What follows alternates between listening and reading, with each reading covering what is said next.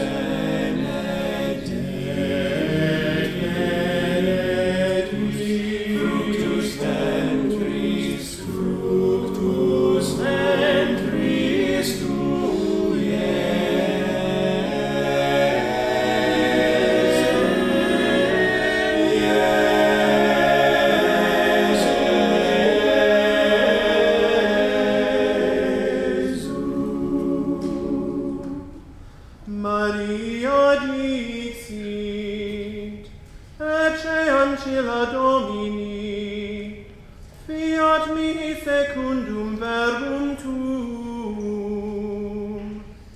et verbum caro factum est,